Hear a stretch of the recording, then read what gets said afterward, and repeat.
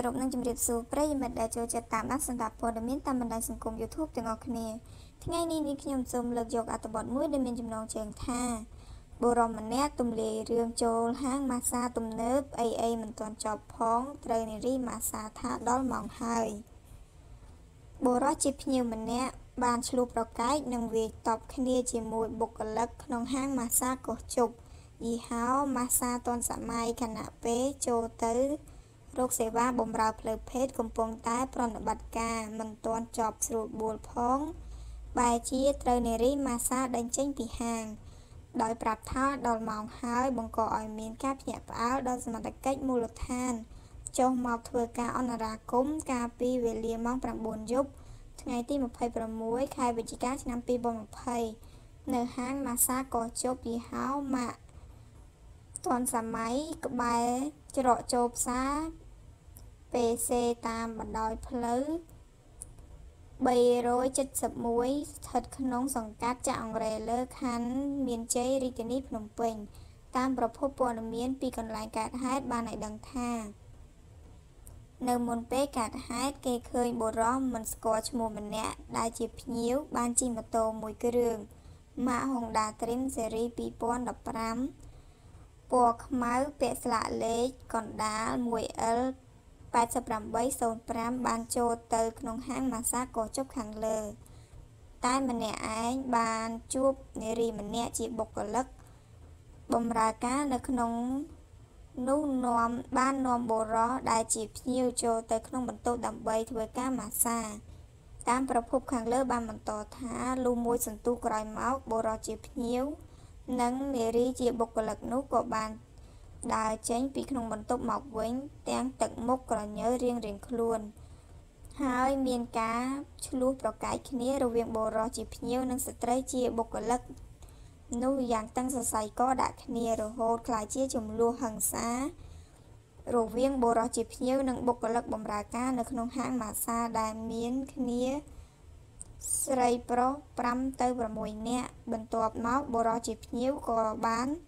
រត់ចេញមកខាងក្រៅស្រែកហៅឲ្យគេជួយបង្កឲ្យមានការភ្ញាក់ផ្អើលដល់ប្រជាពលរដ្ឋនិងសមត្ថកិច្ចមូលដ្ឋានចុះមកធ្វើការអន្តរាគមន៍ភ្លាមៗតែម្ដង តាមប្រភពពីបុរសជាភ្ញៀវបានរៀបរាប់ប្រាប់ឲ្យដឹងថានៅមុនពេលកើតហេតុគាត់បានចូលទៅក្នុងហាងម៉ាសាខាងលើ ក្នុងគោលបំណងរកសេវាបម្រើផ្លូវភេទ លុះពេលចូលទៅដល់គាត់ក៏បាន ទៅនិយាយចរចា សេវាបម្រើផ្លូវភេទជាមួយនឹងនារីជាបុគ្គលិកខាងលើ ហើយដោយដំបងឡើយនារីជាបុគ្គលិកនោះបានទាតម្លៃ25ដុល្លារសម្រាប់សេវាបម្រើផ្លូវភេទពេលនោះគាត់បានសុំបញ្ចុះតម្លៃនិងត្រូវរើគ្នា ក្នុងតម្លៃ20ដុល្លារគាត់ ក៏បានបង់លុយឲ្យមុនថែមទៀតផង តាមប្រភពដដែលបានបន្តថាបន្ទាប់មកនារីជាបុគ្គលិកនោះក៏បាននាំគាត់ចូលទៅក្នុងបន្ទប់រួចក៏បានរំរាក់ជាមួយគ្នាជិត10នាទី ក្រោយមកខណៈពេលដែលកំពុងតែប្រតិបត្តិការជាមួយគ្នាមិនទាន់រួចរាល់ផងស្រាប់តែ ស្ត្រីជាបុគ្គលិកដេញគាត់ឲ្យចេញពីបន្ទប់ ដោយប្រាប់ថារួចហើយដល់ម៉ោងហើយ តាំងពីដំបូងមិនទាន់និយាយគ្នា ពីរឿងគិតម៉ោងនោះទេ ពេលនោះគាត់ក៏មិនសុខចិត្តក៏បានសួរនាំស្ត្រីជាបុគ្គលិករហូតឆ្លោះប្រកែកគ្នា ដោយហេរីជាបុគ្គលិកតាក់ទងហៅបាក់ពួកប្រុសប្រុស3ទៅ4នាក់មកពីខាងក្រៅ និងបានមកវាយតប់គាត់ថែមទៀតផង បើតាមនារីជាបុគ្គលិកហាងម៉ាសាខាងលើ បានប្រាប់ឲ្យដឹងថា